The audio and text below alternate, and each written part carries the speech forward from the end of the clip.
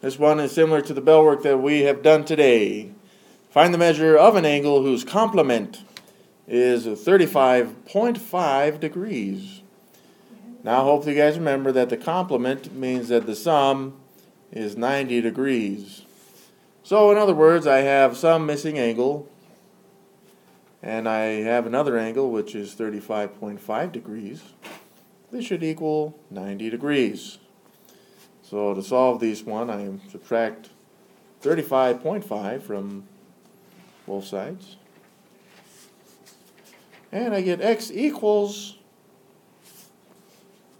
degrees.